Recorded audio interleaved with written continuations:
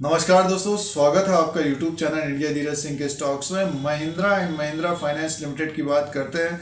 Stock price लगभग 220, 222, 223 के आसपास कारोबार कर रहा है। आज काफ़ी तेज़ी में है। आज ये ज़बरदस्त तेज़ी में है लगभग सात से आठ परसेंट ऊपर की तरफ़ है पंद्रह दो दो हज़ार इक्कीस में। तो इस स्टॉक के बारे में चर्चा करते हैं डिस्कस करते हैं और एक तरह से काफ़ी समय ये 120, 130, 140 के आसपास काफ़ी समय रहा जब राइट इश्यू आया था। तो काफ़ी लोग उस वक्त ये लग रहा था कि कब बढ़ेगा। तो पाँच छः महीने में एक तरह से काफ़ी अच्छा रिटर्न दिया है। अगर किसी ने स्मॉल क्वांटिटी के हिसाब से लिया है, अपने रिस्क के अनुसार लिया है तो एन में तेज़ी बनी हुई है बट ये स्टॉक नहीं बढ़ रहा था। तो इस वीडियो में क्यू के आंकड़े इसके देखते हैं और टेक्निकल चार्ट के अनुसार देखेंगे, इसका फिफ्टी टू वीक हाई है, दो सौ उनतालीस के आसपास है। तो क्या इसको ब्रेक करते हुए ऊपर की तरफ़ जाता हुआ दिख सकता है? और जिन्होंने एक तरह से लोअर लेवल पे ले रखा है तो उनका स्टॉप लॉस क्या होना चाहिए? जो प्रॉफिट वाला स्टॉप लॉस क्या होना चाहिए उसकी बात करेंगे। या फिर अपने अनुसार एक तरह से देखना चाहिए प्रॉफिट कहाँ बुक करना चाहिए? काफ़ी लोग एक तरह से जिन्होंने पिछला एक वीडियो बनाया था काफ़ी समय पहले तो उसमें बताने की कोशिश थी 170 से 180 जाता हुआ दिखेगा। बट देखिए एन के स्टॉक्स और जो स्टॉक्स थे, वो भाग रहे थे बट ये नहीं भागा था।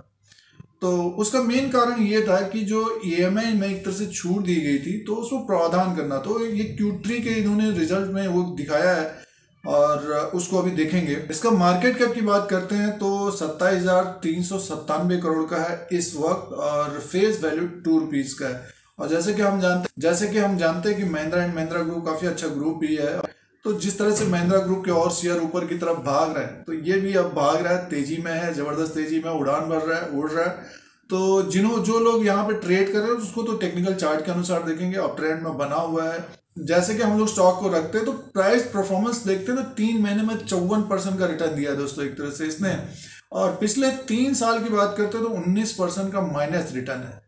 तो अभी भी जिन्हों जिन्हों, जिनके पास, अभी भी जिनके पास तीन साल से पड़ा हुआ स्टॉक अगर ऊपर की लेवल पे तो उन्नीस परसेंट का माइनस रिटर्न है और एक साल के हिसाब से देखते तो पाँच परसेंट का माइनस रिटर्न है। इसका जो Q3 का रिज़ल्ट था दोस्तों, अगर हम कंसोलिडेटेड नंबर में देखते हैं तो दो हज़ार नौ सौ सत्तावन करोड़ का इनका सेल्स था, पिछली बार तीन हज़ार छियालीस करोड़ का था और सितंबर ट्वेंटी में तीन हज़ार पैंतीस करोड़ का। तो एक तरह से कम हुआ है सेल्स और अब सीधे प्रोविज़न की बात करते हैं, जो EMI में एक तरह से छूट दी गई थी तो इन्होंने प्रोविज़न थोड़ा सा ज़्यादा किया एक हज़ार चार सौ तिहत्तर करोड़ का किया है। टर्म पिछली बार था चार सौ बीस, यानी लगभग एक हज़ार करोड़ का ज़्यादा किया है और Q2 में था छह सौ पैंसठ करोड़ का। तो प्रावधान ज़्यादा किया तो ज़ाहिर सी बात है नेट प्रॉफिट कम होगा। नेट प्रॉफिट की बात करते हैं महिंद्रा एंड महिंद्रा फाइनेंस का तो दो करोड़ का माइनस में है। और जो पिछले साल था चार सौ इकसठ करोड़ का और Q2 में था तीन सौ चौंसठ करोड़ का। Q2 का रिज़ल्ट इसका बढ़िया था बट क्या है कि एमआई के कारण जो एन में चल रहा था प्रावधान कितना होगा तो इस क्वार्टर में कर दिया। तो आने वाले दिनों में जो Q4 होगा, उसमें देखिएगा तो हो सकता है कि उसमें बेटर रिज़ल्ट आए तो तब तक जो है स्टॉक ऊपर की तरफ़ जाता हुआ दिखेगा। जैसे कि आप टेक्निकल चार्ट के अनुसार भी देखते हैं कि जब बुलिसनेस होती है स्टॉक में तो काफ़ी रिटेलर उसमें पार्टिसिपेट करने लग जाते हैं। और इन्वेस्टर्स भी आ जाते हैं तो जब वॉल्यूम भी बढ़ जाते हैं तो स्टॉक 220 तक पहुँच गया है तो टेक्निकल चार्ट के अनुसार देखेंगे। बट ये कि जिन्होंने लोअर लेवल छः महीने तक एक तरह से पेन झेला है तो स्टॉक ने अच्छा रिटर्न दिया दोस्तों। दोस्तों, ये Mahindra and Mahindra financial services limited का चार्ट लगा हुआ है और कैंडल्स हैं डेली के। देखिए, एक तरह से अगर हम चार्ट के अनुसार ट्रेड करते हैं तो ये काफ़ी लोअर लेवल से धीरे धीरे बढ़ा ये और लगभग मान के चलिए तीन चार क्वार्टर का रिज़ल्ट जब निकले तब ऊपर की तरफ़ का है।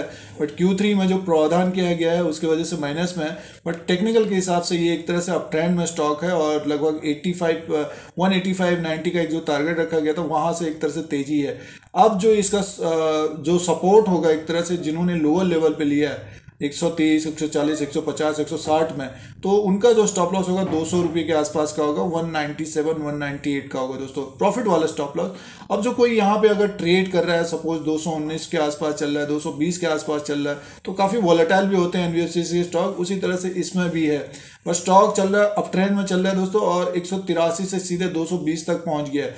जिस किसी ने भी यहाँ पे लिया है तो अपने स्टॉप लॉस के द्वारा इस पर प्रॉफिट को प्रोटेक्ट करिएगा। लगभग 216 का तो होना ही चाहिए, जो इंट्राडे करना है। और जो जिन्होंने अगर 180 में लिया है तो 200 का स्टॉप लॉस होना चाहिए। तो बने रहना चाहिए। अगर ये आने वाले दिनों में, देखिए, अगर ये स्टॉक आने वाले दिनों में अपने 52 टू हाई को लगभग मान के चलिए, ये है इसका दो सौ के आसपास, अगर इस टावर तक ये पहुँच गया तो यहाँ से मान के चलिए ये लगभग सात से दस परसेंट ऊपर की तरफ़ होगा। अगर 52 टू वीक हाई कोई भी स्टॉक या इंडेक्स ब्रेक करता है, वहाँ से सात से दस परसेंट ऊपर की तरफ़ होगा, फिर और भी तेज़ी आ जाती है। कि उसका कारण यह है कि रिटेल इन्वेस्टर्स जो तेज हो जाता है स्टॉक उसमें फिर अपना कूद जाते हैं, लेते हैं, तुरंत एकदम से पैसा मीन्स बनने, बन, बनाने के लिए।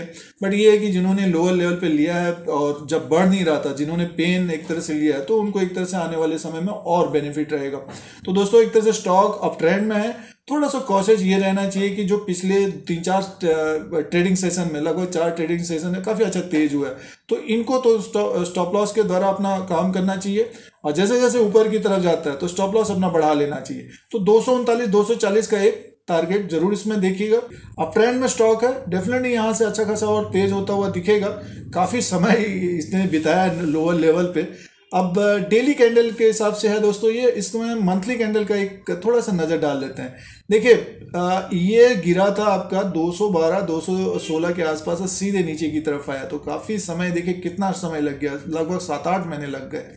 अब किसी ने अगर लिया था तो इस यूट्यूब चैनल से बताने की कोशिश थी कि महिंद्रा एंड महिंद्रा फाइनेंशियल को देखेगा, अगर स्मॉल क्वांटिटी के हिसाब से लेते हैं तो 180 190 का टारगेट रखा गया था, फिर से एक ऊपर की तरफ़। तो अब हर स्टॉक को तो नहीं लिया जा सकता बट ये स्टॉक जो भागा नहीं था लोअर लेवल पे कारोबार कर रहा था आप देखिए 220 के आसपास है। तो अपने प्रॉफिट को प्रोटेक्ट करिए और जो यहाँ पे ट्रेड करना है, थोड़ा सा स्टॉप लॉस के द्वारा ही कारोबार करना चाहिए या फिर स्मॉल क्वांटिटी के हिसाब से देखिए, इस कैंडल को तो इसने फिलअप कर लिया। अब ट्रेंड में, अब इस कैंडल को फिलअप करेगा आने वाले समय। इसका जो हाई है, लगभग दो सौ पैंतालीस रुपये नब्बे पैसे के आसपास है। तो ये कि अभी ऊपर की तरफ़ जा रहा है तो गिरावट में इसमें नज़र रखनी चाहिए जिनके पास लोअर लेवल पे है, अभी भी बने रहना चाहिए। अब इसमें RSI को लगाते हैं। देखिए, अभी रिलेटिव स्टैंड इंडेक्स 53 में तो 70 में जाने में अभी लगभग मान के चलिए ये लगभग 15 से 20 परसेंट ऊपर की तरफ़ होगा, फिर एक गिरावट की संभावना होगी और अपने लोअर लेवल से एक तरह से ऊपर की तरफ़ जा रहा है। अब ट्रेंड में बना हुआ है, एक दो क्वार्टर में बढ़िया रिज़ल्ट आएँगे तो आपको देखिएगा स्टॉक काफ़ी ऊपर की तरफ़ जाता हुआ दिखेगा। और डेली के हिसाब से देखते हैं तो 70 में पहुँच गया। जो शॉर्ट टर्म के लिए एक तरह से कारोबार करते हैं जैसे कि 180, 190, 200 के आसपास जिन्होंने लिया है थोड़ा सा स्टॉप लॉस के द्वारा ही कारोबार करिएगा। यहाँ से थोड़ा और ऊपर की तरफ़ जैसे कि दो सौ के आसपास तक जाता है तो थोड़ी सी गिरावट की संभावना रहेगी इसमें।